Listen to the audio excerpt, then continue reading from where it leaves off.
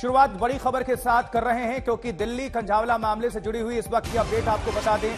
आरोपियों ने माना है, जो कार में सवार थे, कि उनको जानकारी हो गई थी कि कोई लड़की कार के नीचे है।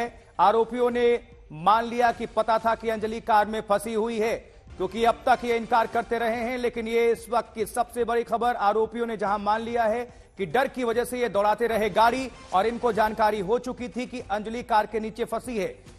और कई बार इन्होंने यूटर्न भी लिया था। आरोपियों ने इस बात का भी कबूल किया है इसको। दिल्ली कंझावला केस में सबसे बड़ी खबर इस वक्त आप सभी दर्शकों को दे दें।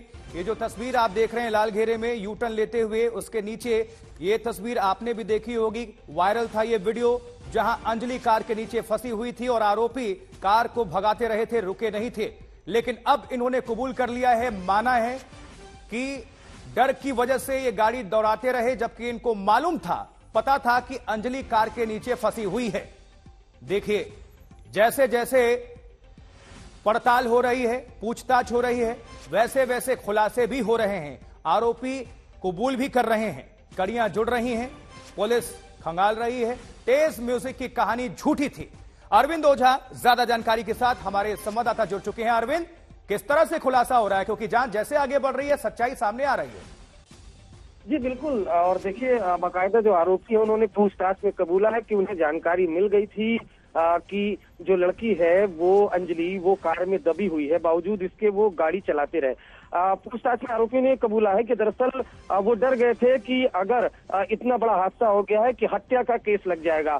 उसके अलावा जो पुलिस ने पुलिस से शुरुआती पूछताछ में आरोपी बता रहे थे कि हमें तो जानकारी ही नहीं थी कि अंजलि कार के नीचे है क्योंकि म्यूज़िक तेज बज रहा था। दरअसल पूछताछ में ये भी खुलासा हुआ कि दरअसल आरोपी हम्म। झूठ बोल रहे थे कि म्यूज़िक तेज चल रहा था उस दौरान म्यूज़िक नहीं चल रहा था। हालाँकि आपको बताऊँ जो आई विटनेस है निधि उसने भी आज तक से इंटरव्यू में ये बताया था कि म्यूज़िक तेज नहीं चल रहा था। हाँ। तो आ, ये अपने आप में एक बड़ा कबूलनामा है आरोपियों का दिल्ली पुलिस के सामने पूछताछ में। कि उनको ये जानकारी थी आ, कि जो अंजलि है वो कार के नीचे बकायदा दबी हुई है। बावजूद इसके वो गाड़ी चलाते रहे नंबर एक। नंबर दो आ, जो म्यूज़िक चलाने की बात उन्होंने शुरू में बताई थी कि म्यूज़िक चल रहा था इस वजह से आरोपियों को जानकारी नहीं मिल पाई थी। वो भी बात झूठी थी म्यूज़िक नहीं चल रहा था उस दौरान। धाराओं की संख्या और बढ़ जाएगी। गुमराह करने की कोशिश झूठ बोलने की गलती ये सब कुछ इसमें ऐड होगा।